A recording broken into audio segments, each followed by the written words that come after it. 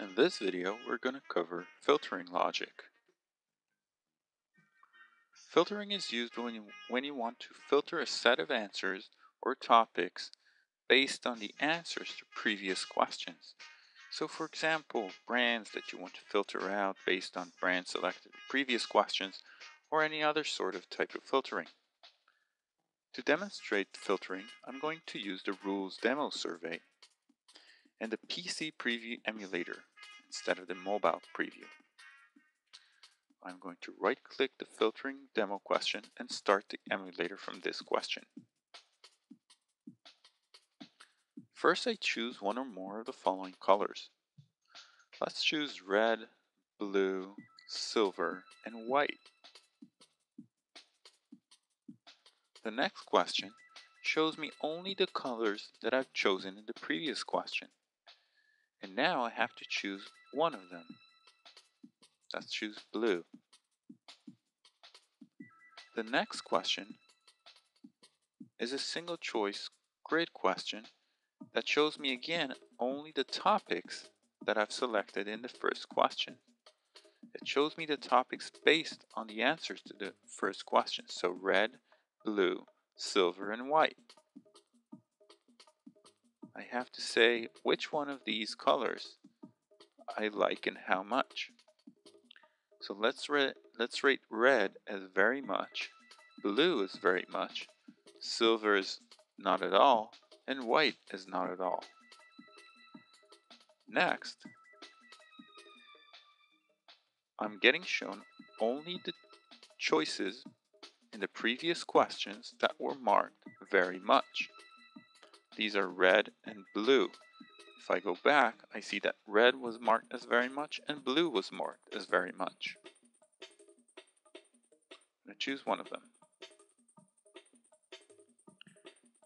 Next, I'm getting asked about the answers or the colors which I marked not at all. Silver and white. So if I go back to the ranking question, I see that silver and white were ranked not at all.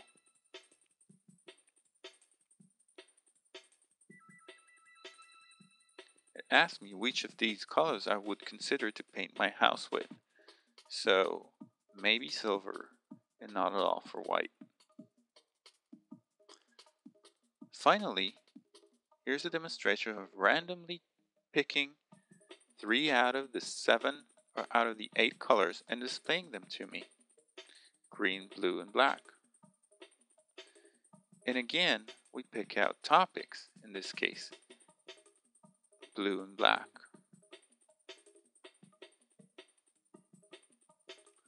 Filtering can be done based on many variables and many types. Let's start with seeing how to filter answers based on other answers.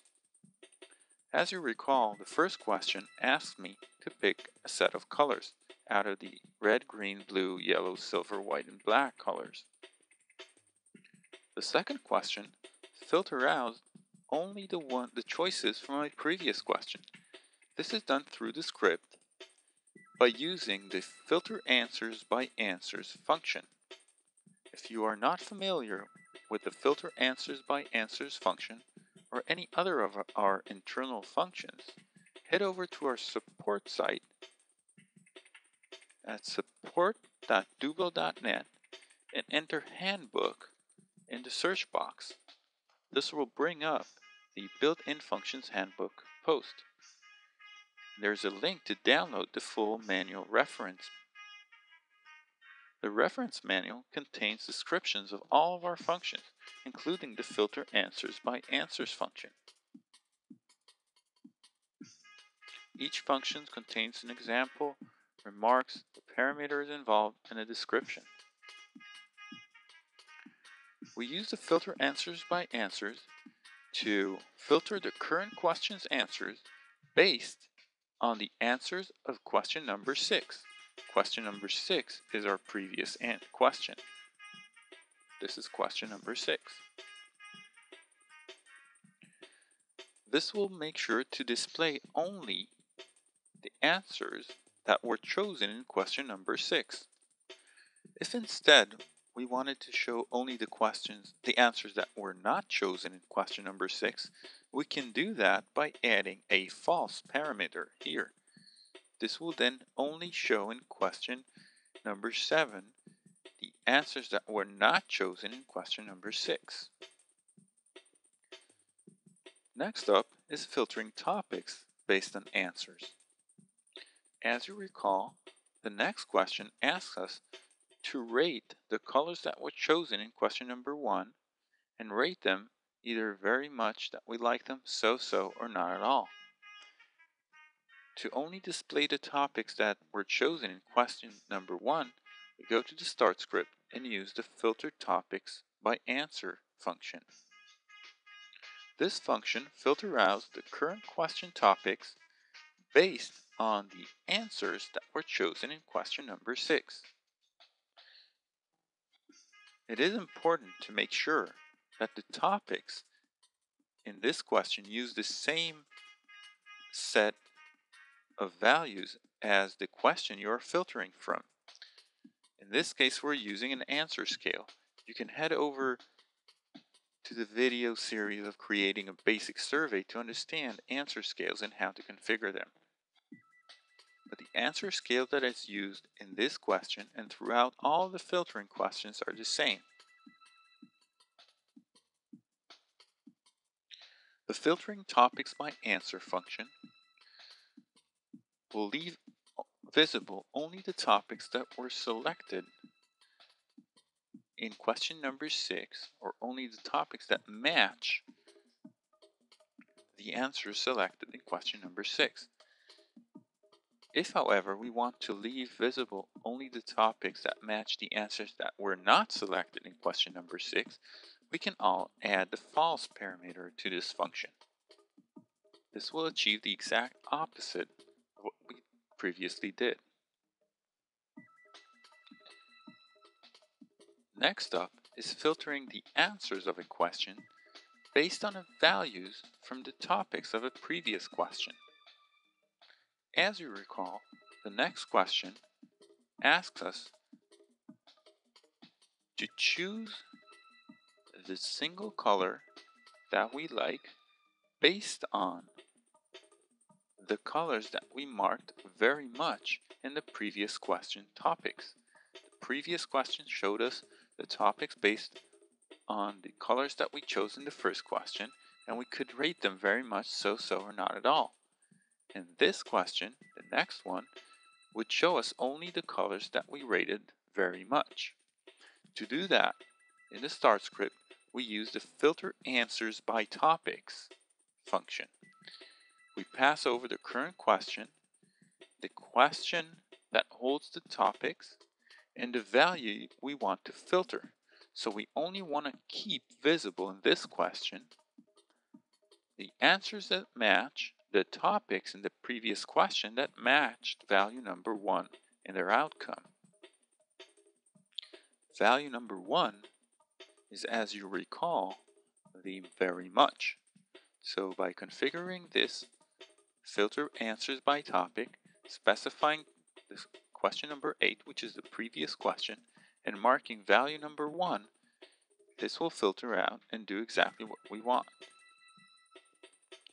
Next up is filtering topics based on other topics values. As you recall, the next question showed us only the colors that were marked not at all in the previous other question and required us to rate them whether we will consider them or not. To do that, we go to the start script and use the filter topics by topics function. We tell it to filter the current questions topic and only keep visible the topics in question number 8 that will mark as 2 or 3 in the values.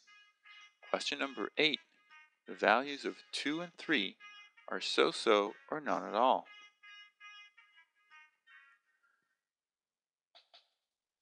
This means that this question will only show the topics that were rated so-so or not at all in question number 8. Finally, we can filter or show and hide answers or topics based on some custom logic. This can be any logic that we wish. As you recall, the next question asks us to choose one of the random colors that were chosen. Note that the answer list is again seven colors, but then in the script, we add some custom code that shows and hides the question or filters out the answers based on some custom code. In this sample custom code, what we did is define a random answers array by calling the create random array function, passed it a size of 3, a minimum value of 1, and a maximum value, uh, value of 7. We then set all of the answers to a visible state of false, which means to hide all the answers, and we loop over the random answers array over the length and set the specific answer visible of the randomized of the randomly chosen answer to true, which means to, to make it visible. This essentially chooses three answers randomly and puts them as visible true. We do the same with the topic question where we ask for a random topic. Instead of using the set answer visible, we're using the set topic visible function. First to turn all topics to visible false, and then using the set topic visible to true. This is just a sample to show you how you can use the set topic visible and set answer visible functions to create custom filtering based on custom code. In this demo, we covered filtering logic.